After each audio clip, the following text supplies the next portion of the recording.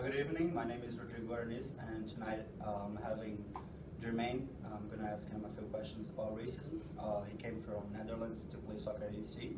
It's very nice to have you. No problem. Uh, have you ever suffered with racism while playing soccer? Yeah, most definitely. Uh, especially because I have no father figure there to protect me, so it was easier to pick on me. I was usually uh, like pick last, or even though I was a better player, you know, they uh, used to pick someone that was different, or you know, like wasn't capable of the things I could, and then uh, that was just just unfortunate.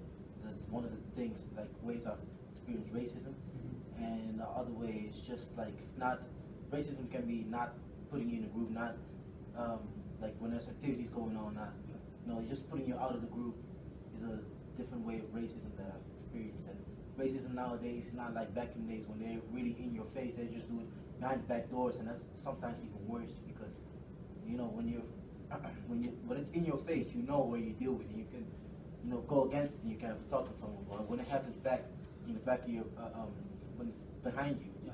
then people will always have an excuse for why they're not racist or why they chose differently. You know, Yeah. and it's just it's just difficult. And how does this issue seem back in Netherlands? Because it's different from country to country. Almost definitely. I think uh, it was a great step to come to the United States because there's so much diversity going on.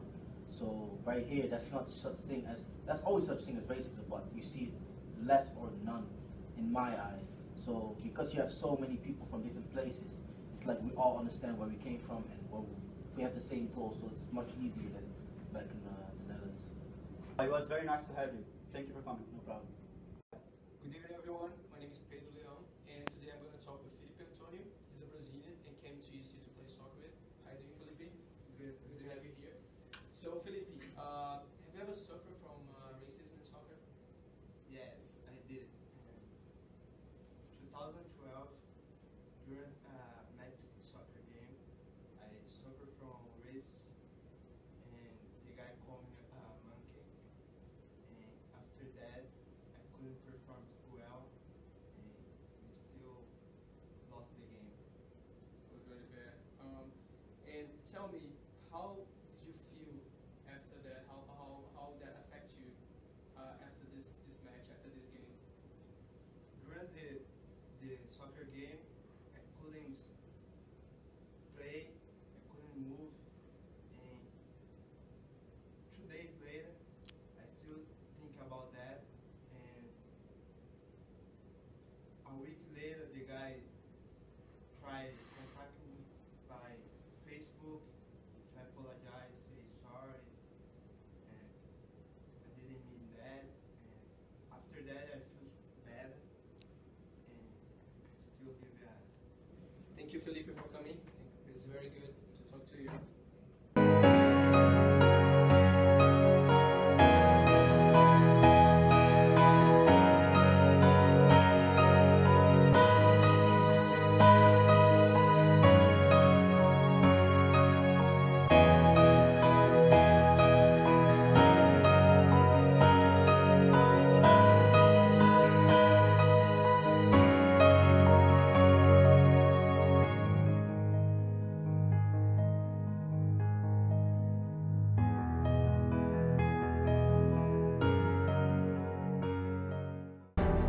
Decimos no al racismo.